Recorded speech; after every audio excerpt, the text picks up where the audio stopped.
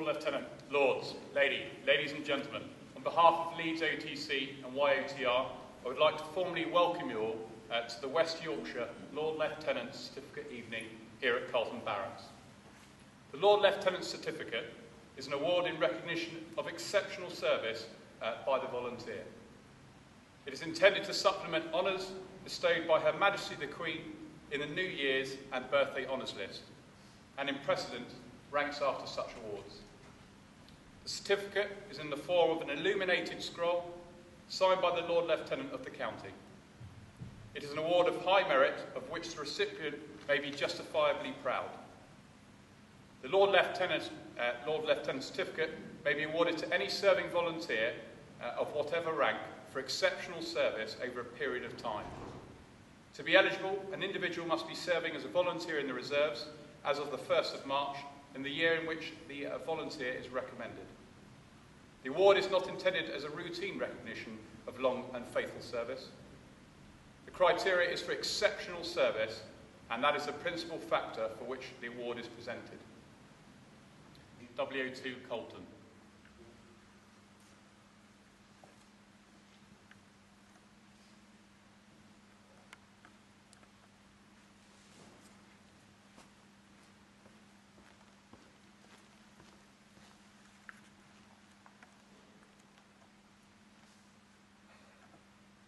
W2 Paul Colton joined the Sea Cadets as a cadet in 1972 to 1988, Barnsley Youth in South Yorkshire District.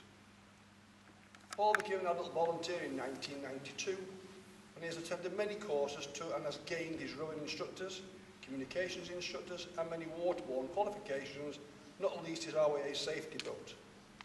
And so he can pass all these skills to the cadets. In March 1998 he was advanced to Chief Petty Officer and twice of the unit before coming the officer in charge of Barnsley Sea Cadets. To open great opportunities for the young people of the area, he instigated the formation of a Royal Marine Cadets detachment, which continues to thrive today.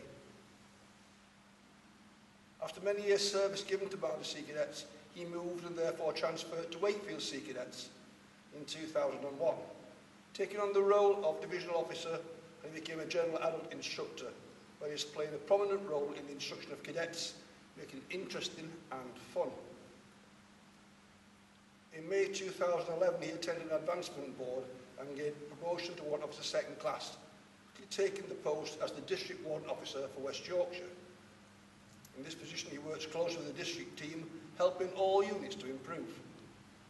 Outside of the Sea Cadets, Paul went to Romania three years running as a volunteer to help the rundown, dilapidated local hospital and orphanages in Carey. W2 Paul Colton is committed to helping others and is strongly recommended to the award of a Lord Lieutenant Certificate. W2 Colton.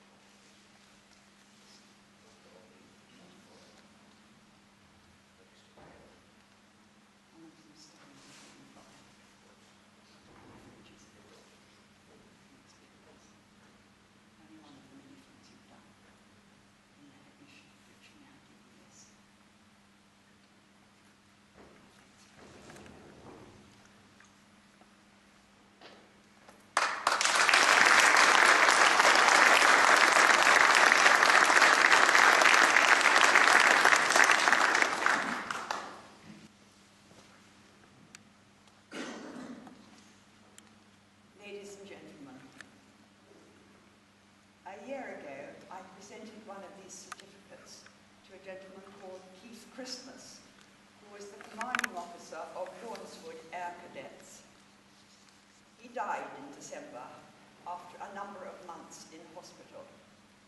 And over that time in hospital, he was still trying to encourage new skills and do as much as he possibly could for the cadets that he looked after.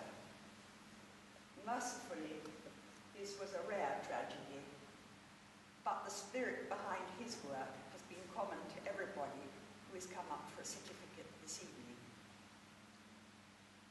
In the weekend before one of these ceremonies, I always read the citations very carefully at home because you only get the gist of them when you actually come to the evening.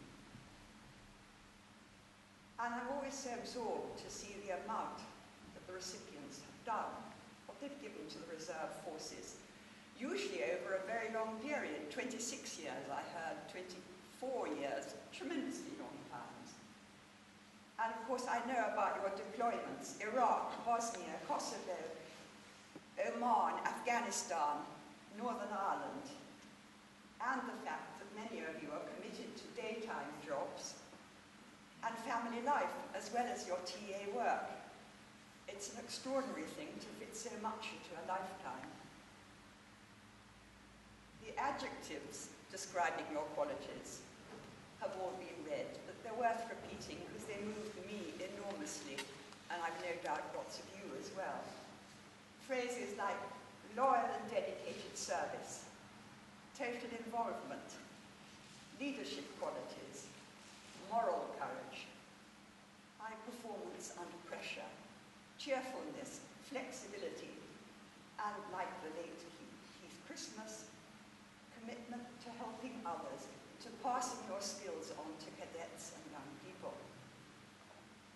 The certificates just presented you, to you are an attempt to thank you for shaping so positively the lives of very many people.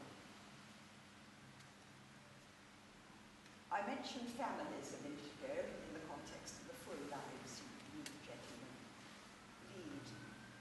And of course, family members are here today and they deserve all our thanks as well.